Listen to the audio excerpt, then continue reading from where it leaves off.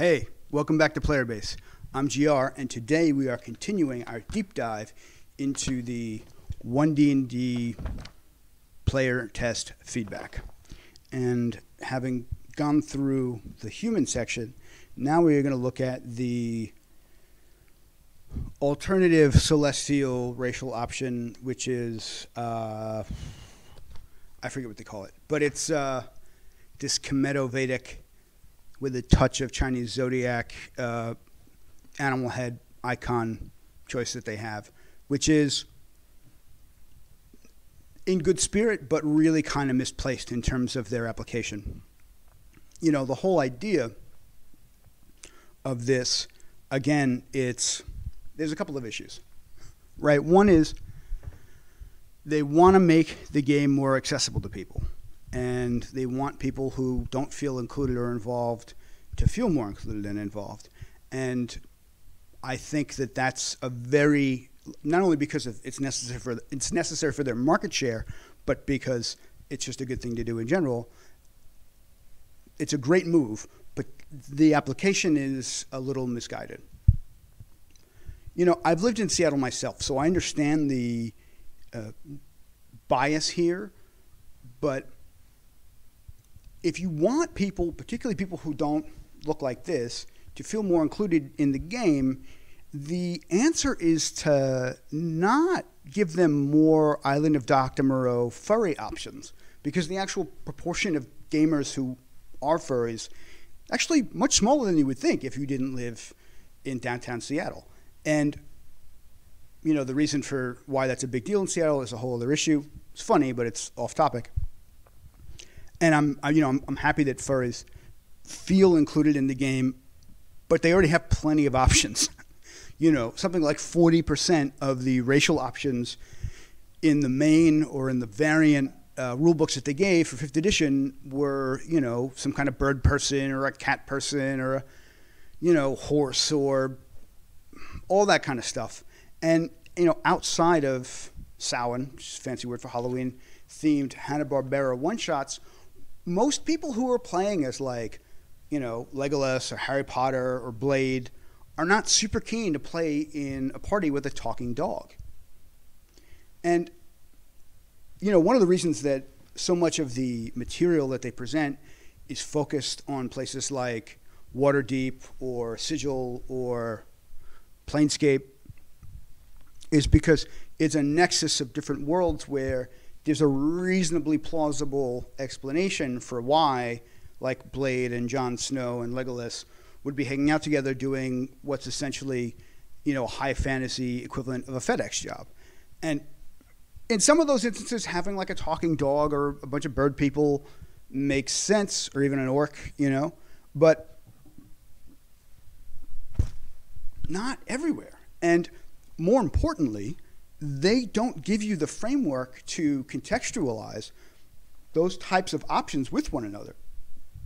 And I was showing this to my bro, and he was emphasizing that it sounded like I was ragging on fursonas. And so I'm going to emphasize this. I think what would be great would be a supplemental material that explains the entire sort of basic phenomenology of a My Little Pony style campaign or you know, the realm of Dr. Moreau or what have you, right? And more importantly, so that those people feel included with other people at the table or other types of games, is the framework to explain why, like a you know a bear with a rainbow on its chest would be in a party of you know pseudo Tolkienian fantasy races killing ten rats in a basement in a bar, right?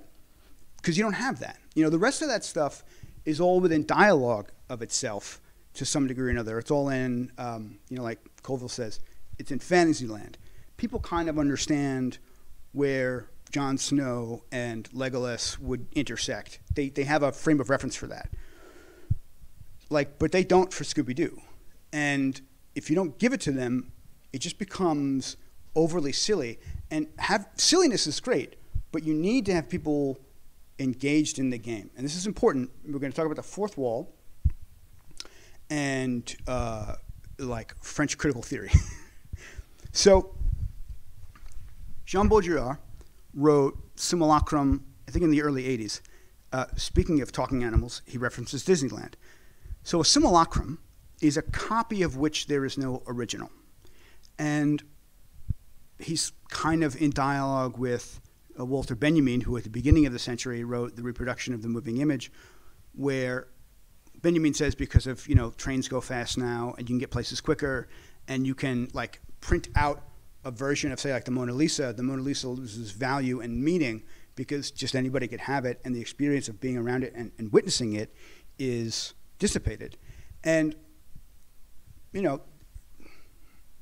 he makes a good point because now you know to see the Mona Lisa, you got to wait in a line that's like an hour long and it's behind bulletproof glass and people throw pies at it. Like that's not. Incidentally, if, if you're wondering what the thing about the Mona Lisa is, the head basically cuts off at the top, and the two sceneries on either side of it are such that when you look at it, it creates an optical illusion so like it smiles if you actually look at it. It was a real masterpiece of perspective and understanding the mechanics of the way the human eye works by Da Vinci. That's the big deal about that it's a uh, it's an optical illusion like a magic eye book. That's what it's about. And it was built back in the day when you couldn't print out like hundreds of thousands of copies of magical eye books or have computers to present images of static that if you looked at them the right way, like a three-dimensional boat came out. But back to the point with Baudrillard, who says a copy of which there is no original. And the example he gives is Disneyland. Because if you look at Disneyland at the corner of your eye, it looks like a medieval European castle kingdom. But any amount of actually paying attention to it, you know, it kind of looks like Mont Saint Michel in France and kind of looks like something in Prague, but not really. Like any amount of attention to it, like it, it it's not related to anything. And incidentally, he says the purpose of Disneyland, which people say is fake, Disneyland isn't fake. Disneyland is Disneyland. The purpose of Disneyland is to make Los Angeles look real by comparison. And Dungeons and Dragons is a simulacrum. It's not an accurate representation of Tolkien or of Jack Vance or of Robert E. Howard or Lovecraft or any of the other pastiches that it's put together. It's a pastiche of a pastiche of a pastiche of a pastiche. And it's its own thing in that it is kind of like these things, but not really. It's got its own thing going on because of that. And that means that the references that you have for it don't directly apply, but they're workable enough that you can interact with it and feel like you're speaking the same language. And that's why you can have some of the pastiche from, you know, George R. R. Martin, some of it from Robert Howard, some of it from Lovecraft, and it kind of works together because it's not really any of those things. But all that stuff is in a kind of constellation with itself, and then all the animal stuff is like way over here and they've built no highways between them. And the reason Dungeons and Dragons and role playing games are engaging is because, and the reason the rule set is important is because the rule set is your suspension of disbelief. That's what I was touching on in the last video when talking about what the rule set is and what the game is. The rules are there to give you a sense of haptic feedback of a real world. And the dungeon master is playing a different game from the PCs because the Dungeon Master's game and their job is to create the phenomenology that makes that world feel real when you poke it. And the reason the rules are important in D&D is because an understanding of them and an understanding of their symmetry within the rules themselves is what allows players' psyches to become engaged with the game emotionally. Oh, hey, sorry. Uh, I forgot that I had Blink as a ritual cast, and um, I uh, sneezed. My bad. What am? Ah. Oh man. Jack Vance strikes again. So, like I was saying, the issue with the rules is that the reason the rules need to be internally consistent isn't because the game is meant to be fair or that the players are meant to have an equivalent amount of power the reason is because the rules, being internally consistent, are the vehicle by which players are able to engage with their psyche and their emotions into the game. The rules are the construction of the fourth wall. And when people are emotionally invested in the game, when people feel that they are interacting with a real world that has feedback, they will believe it, whether they believe it or not. That's why the enshrinement, the protection of the fourth wall is so important in a game like this. It's also why fourth wall breaking jokes uh, are easy and cheap and very often over a long period of time detrimental to the play. Also, it's much harder to do in wall jokes. Uh, you know who does it really well is, of course, Penny Arcade, particularly the C Team. Very, very funny show, but the, even when the jokes are so funny that they break the fourth wall, the jokes are within the context of the game itself. And the result of that is that both the players and the audience believe and invest in the emotional and psychic interplay within the game. And that's important. And so, to round out this bit with um, people who really want to play as talking animals, that type of narrative is so left of center of the rest of the agreed upon simulacrum that without providing the framework or the structure to connect it to the rest of Fantasyland, it breaks the fourth wall, and people just are not that enthused. It would, I mean, I actually don't know the exact answer to this problem. I can't give you one because I haven't thought about it, and quite frankly, because I don't like running games like that. And one of the reasons is this: it, it's a very interesting problem to solve, but this is not it. You know, this uh, Egyptian pantheon, which is kind of like a slightly Hindu pantheon is but like from the island of misfit deities, this is not going to cut it. Especially because the the offers they have don't really line up, you know, in terms of the virtues that they want to present in several ways. Um, and you know, it's not really the powers here are kind of lackluster, and that's important because if you want someone to be the avatar or the projection of uh, a beatific deity, of a godly force, you got to make them feel like it.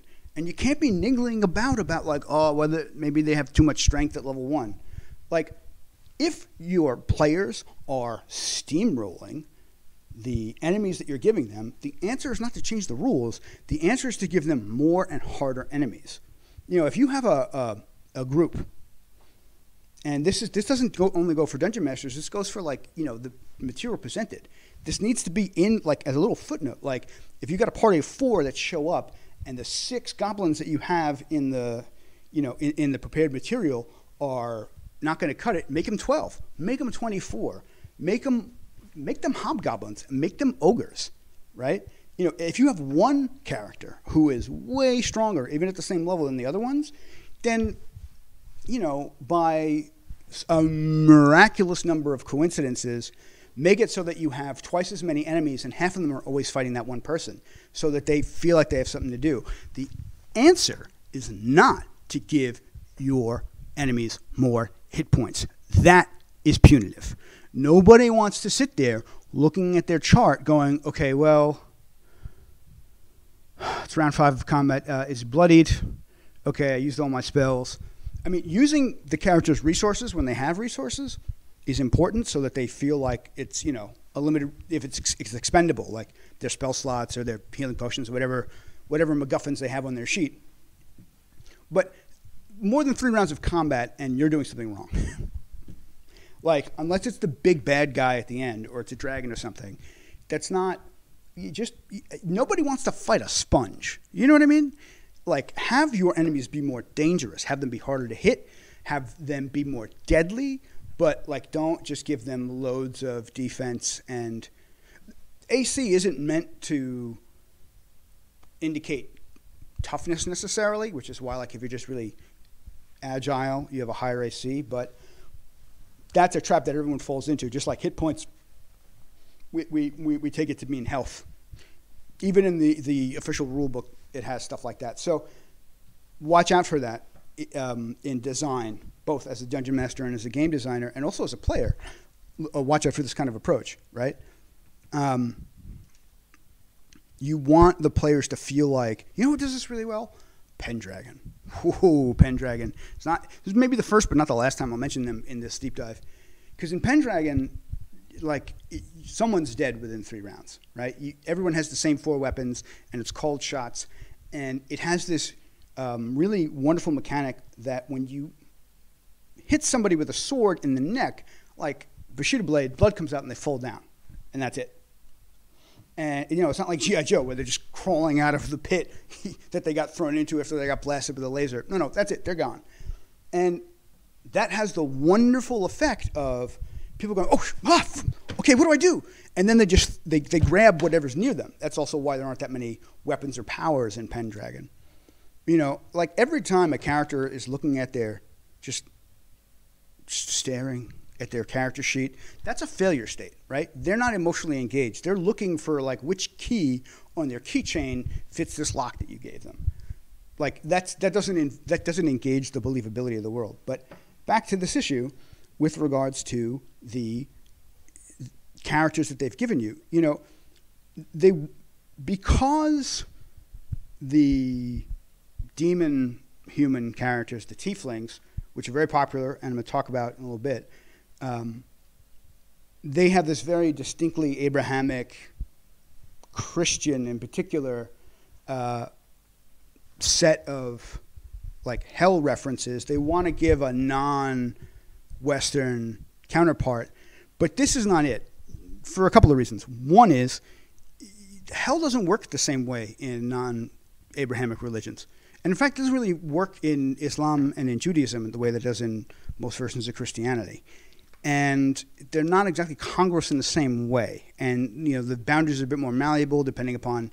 I mean, in this case, you're talking about Kemetic, which is to say Egyptian pantheons, where everyone has like some kind of animal head, or in um, Hinduism and in most variants of Buddhism, the realms they're they don't work in the same way. Um, and even in Western European non-Christian theologies, like in um, you know traditional like Scandinavian concept of the afterlife, or you know the Celtic concept of the barrier between the physical and the non-physical world, or the Mediterranean one in the Greek or the Roman or the Scythian or the Anatolian or the Levantine. It doesn't work like this.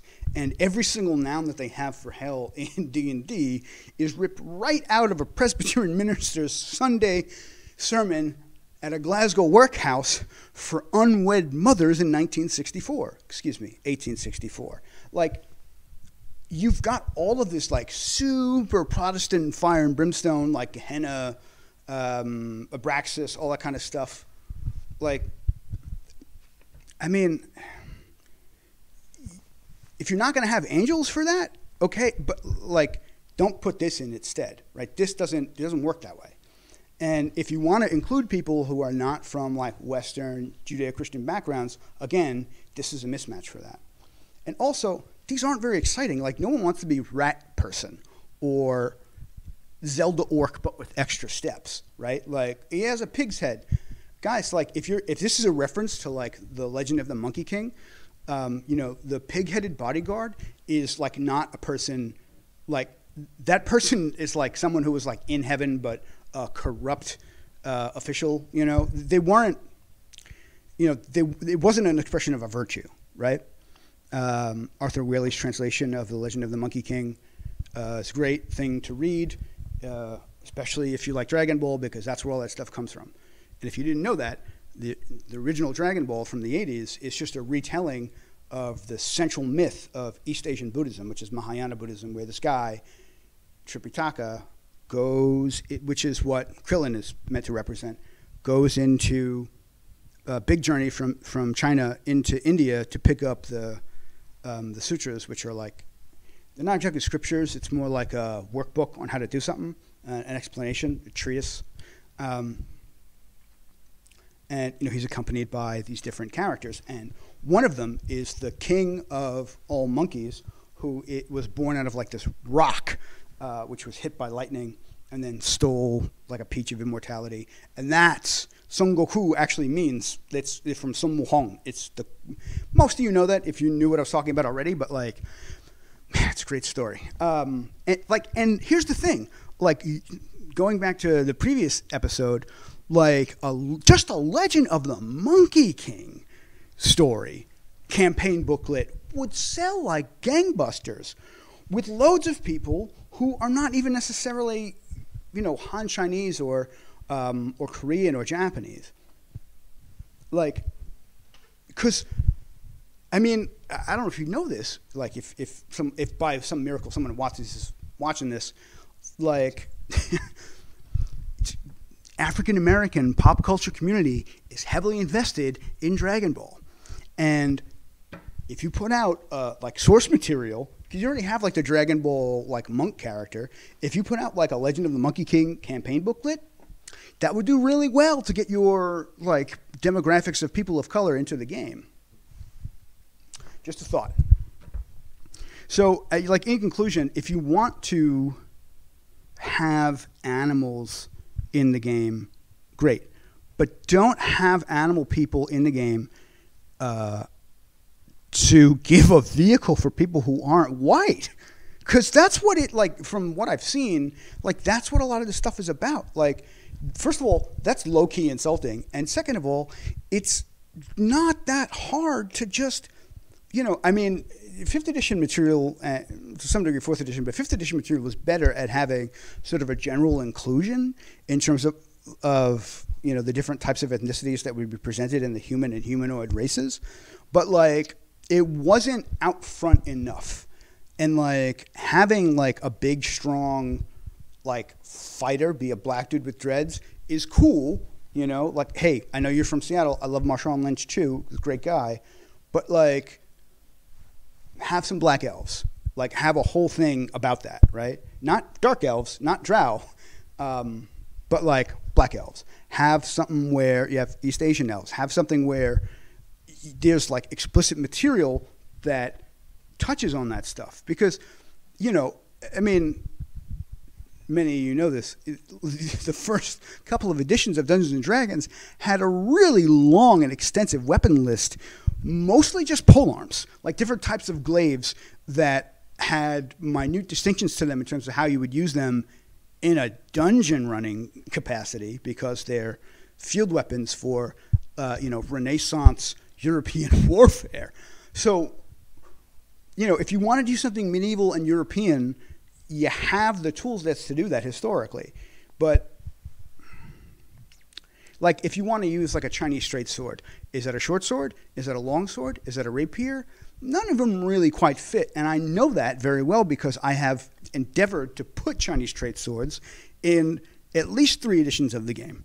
Like really worried the details on that. And this, right? If you want to have non-Judeo-Christian pantheons in the in the racial classes this isn't it. And also having it be diametrically opposed to the obviously like Christian hell demon people is that's not going to cut it either. Especially because the demon people people respond to that, and I'll talk to that for reasons that have nothing to do with this other stuff. So,